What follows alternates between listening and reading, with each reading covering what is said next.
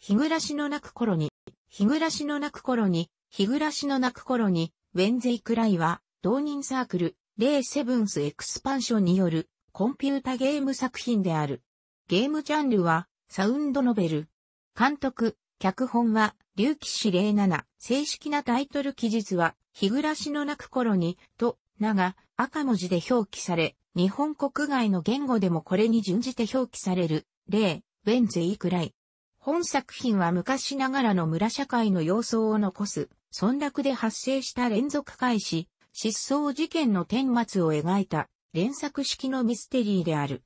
表現媒体としてサウンドノベル形式を採用しているが、ストーリー展開に影響を与える選択肢は存在しない。出題編、回答編の各4編が2002年夏から2006年夏のコミックマーケットで発表された。後に、これを原作として商業作品化され、メディアミックス展開も盛んに行われた。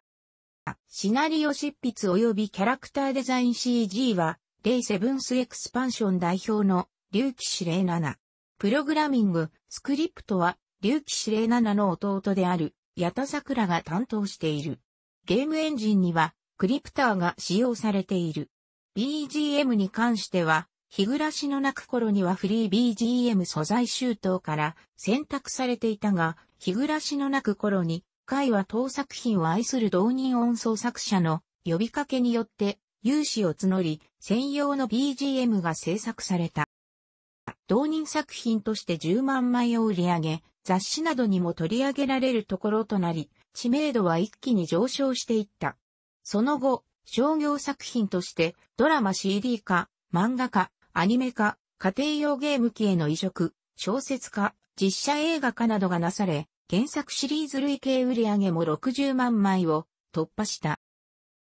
同人者による二次創作が活発に行われ、商業流通においてもアンソロジー集、漫画、小説などが多数刊行された。2006年にスクウェアエニックスは日暮らしの泣く頃に大賞創設し、二次創作小説を募集した。受賞作品は、日暮らしの泣く頃に小話詩編としてシリーズ化され、本編同様、メディアミックス展開された。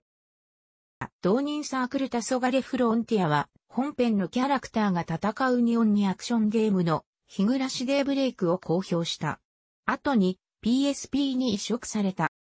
本作品は人口2000人に満たない、錆びれた架空の村落、ひなみ沢村を舞台に、村にまつわる古い飲酒、面流しを軸にして起こる連続開始、失踪事件を扱った連作式のミステリーである。読者に謎を提示する、出題編4編と、事件の真相と謎に対する回答、つまり、事件の惨劇を回避するために人々は何をすべきだったのかが明らかになる回答編4編とで本編が構成される。出題編では信頼できない語り手による手法が多用されていて、事件は一見不可解に見えるが、徐々にその真相が明らかになっていく。大部分が登場人物の主観で叙述されるが、合間にはより客観性の高い追加情報、tips が挿入される。このような情報の提示の仕方は、ブレアウィッチプロジェクトに影響を受けたものでる。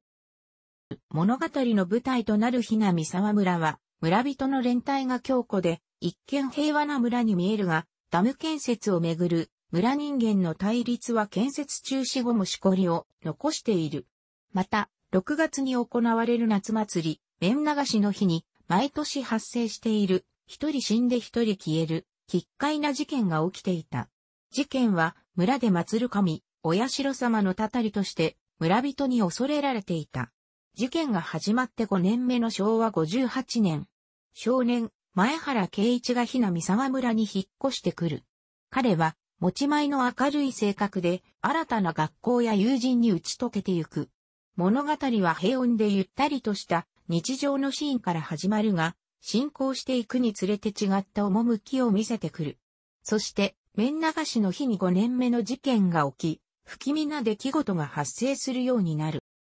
哲学者、批評家の東博樹は本作品の物語の構造が美少女ノベルゲームのそれと類似していることを指摘している。第1話の結末において多くの謎を抱えたまま主人公は死に至る。しかし、第2話では事件発生前から物語が始まる。主人公も生きて登場し、第1話と異なる展開を見せる。同じ場所、同じ時間での異なる物語は、第4話を除いて繰り返され、第4話では、主人公がい。あたかもゲームのプレイヤーが、バッドエンドを回避すべく、以前とは異なる選択肢を選んで、再挑戦したかのように物語が進行していく。読者は、些細な違いにより異なる結末を迎える物語を見比べることで推理の手がかりを得ていく。事件を繰り返すごとに登場人物の繰り返しへの自覚や物語への自己言及とも取れる発言が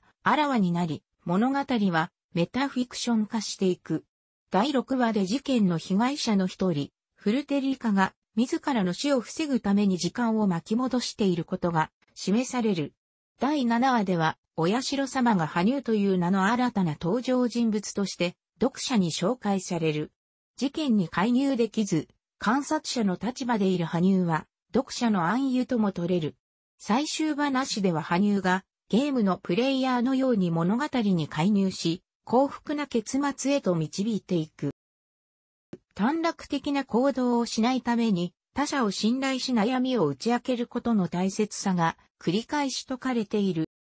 なお、上記の2作品は、2017年6月上旬の空夢の破産により、ゲーム上での事前告知がされないまま唐突的にサービス終了となった。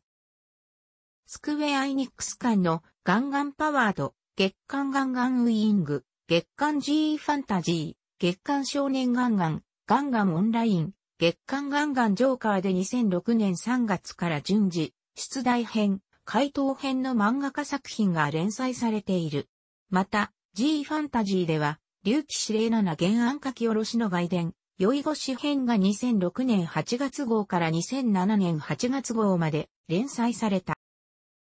これとは別に、角川書店館、コンプエースでは、竜騎司令七原案書き下ろしの外伝、鬼さらし編、原古足編、心癒し編が連載された。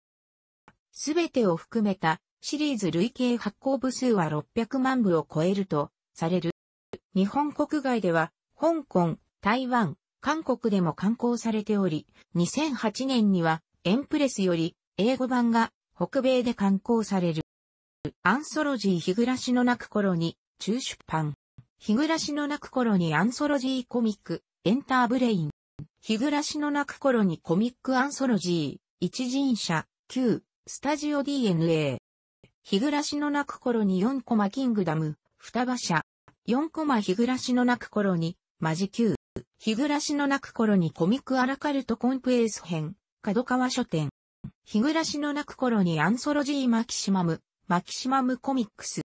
日暮らしの泣く頃に新規単集、一人者、旧、スタジオ DNA。日暮らしの泣く頃に、北端選集、一人者、旧、スタジオ DNA。イタチごっこ。日暮らしの泣く頃に、作品集、作、肉離れ出版、文園堂。日暮らしの泣く頃に、ひな、三沢北端、一人者、旧、スタジオ DNA。日暮らしの泣く頃にワンダフル、アースターコミックス。日暮らしの泣く頃に、高あやかし選手編務む、作、あやけんちは出版、アースターコミックス。日暮らしの泣く頃に、全七巻。日暮らしの泣く頃に、回、全九巻日暮らしの泣く頃に、例、全一巻日暮らしの泣く頃に、全七巻。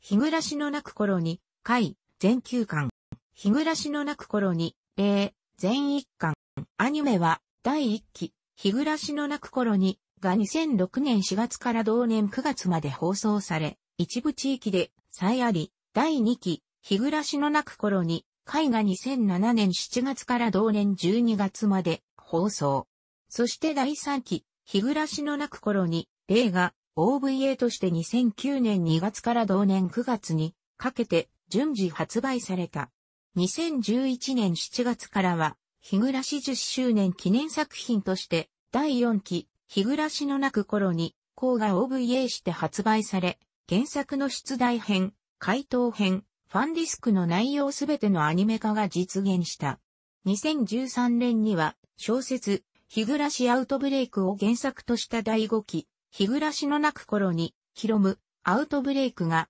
OVA として発売された。また、2007年6月より米国及びフランスで DVD 発売、ネット配信開始。